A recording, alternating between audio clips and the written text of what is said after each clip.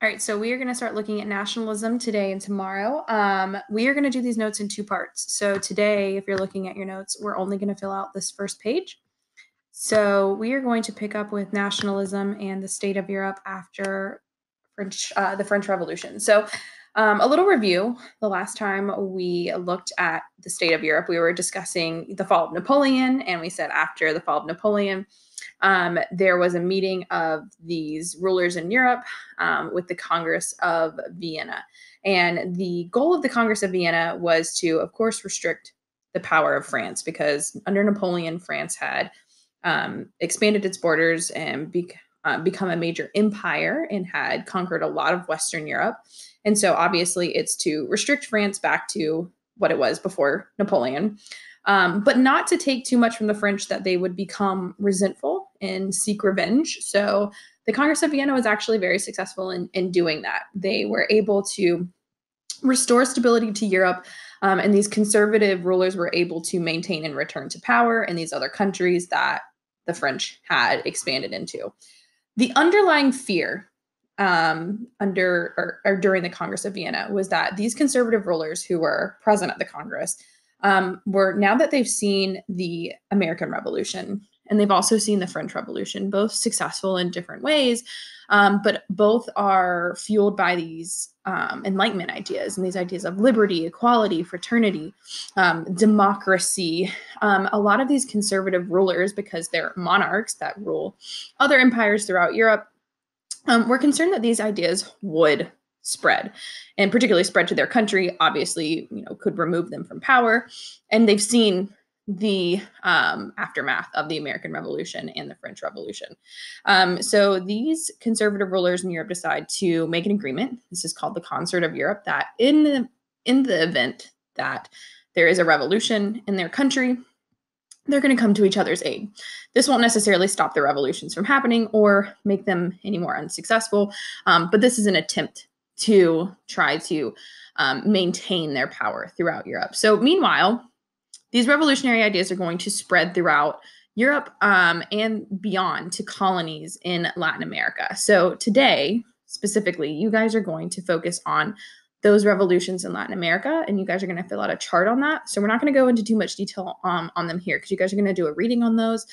Um, but we're going to kind of focus on the effects, what nationalism is, and the effects that it's going to have on Europe here in these notes because tomorrow we're going to look at the unification of Germany and Italy. So, after these um, revolutions spread to Latin America, a lot of these Latin American countries do earn their independence from these major um, empires. And so they are no longer colonies, but they are their own independent nation states. Um, meanwhile, in Europe, nationalism is starting to spread. So, as a review, um, nationalism is this feeling that you know the greatest loyalty of a person should not be to a monarch because remember we've been looking at the spread of these enlightenment ideas but rather their loyalty is going to be to a group of people who share a common culture with them a common history. And so nationalism can take different forms. It can be something that unifies a group of people. So we'll see countries like germany and italy unify but it can also be something that divides um, a country. And so that's what, or an empire mainly. And that's so what that's what we're going to look at today. We're going to look at how nationalism is going to divide um, and really weaken some of these major powers. All right, so the first nationalist revolution we're going to look at is in Greece. Um, so Greece is in a region that we call the Balkan Peninsula. The Balkan Peninsula later on is going to be known as the powder keg of Europe, just because there's so many different ethnic groups that are present in that area. Um, and so that particular area is controlled by the Ottomans at this time in the early 1800s. And so the Greeks are going to revolt against the Ottoman Empire, and the Greeks are going to successfully guarantee their independence by 1830. So in this case, we're going to see that nationalism separated um, the Greeks from the Ottoman Empire, and they were able to establish their own independence. Okay, so this is an example of how nationalism can be a separating force. In this case, the Greeks are separating themselves from the Ottoman Empire. Um, in 1830, um, Charles X of France is going to try to reinstate absolute monarchy. So, if we are remembering correctly, right, the French have just gone through a revolution not too long ago. They've also seen the rise and fall of Napoleon. Um, and so this idea of absolute monarchy, after especially after the French Revolution and after Napoleon's, uh, um, you know, declaring himself uh, emperor as well. This is not going to sit well with the French people. Um, so the July Revolution occurs. Um, they're going to um, overthrow Charles and play, replace him with his brother, um, Louis Philippe. And so these two revolutions specifically, um, the ability of Greece to separate from uh, the Ottoman Empire and the French being able to um, prevent their ruler from exercising absolute power is going to inspire future nationalist revolutions across Europe. Okay, so um, again, we're going to see that some of these revolutions right now, um, with the exception of the, the Greeks, are going to be unsuccessful. But later on, we're going to still see the effects of nationalism um, in uh, Unit 7 when we talk about the beginning of World War One. All right, so in 1848, the French have a second revolution. Um, the uh, successor that they had put in place, Louis Philippe, uh, lost his popularity.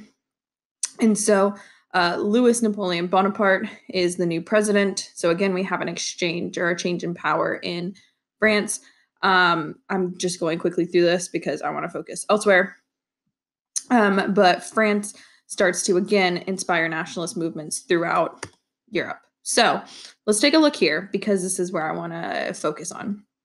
So you can see on this map, um, the revolutions are represented by these uh, red marks right here. Um, but you can see the major empires um, in uh, Europe as well. Where I'm going to focus really quick is the Austrian Empire. So the Austrian Empire, you notice, is one of the largest empires, with the exception of obviously Russia. Um, And you can see down here, the Ottoman Empire is still pretty large, and you can see that here's Greece. Greece had declared its independence, right? Um, but if we look at Austria a little bit closer, okay, so going back, we're, oops, sorry. We are focusing on this particular empire. If you look at Austria and we break it down by ethnic groups, Austria is made up of several different ethnic groups. Um, the largest of these ethnic groups are going to be the Hungarians. Okay, so this is the largest minority group that is going to be present in Austria. And so remember, these feelings of nationalism are going to start spreading.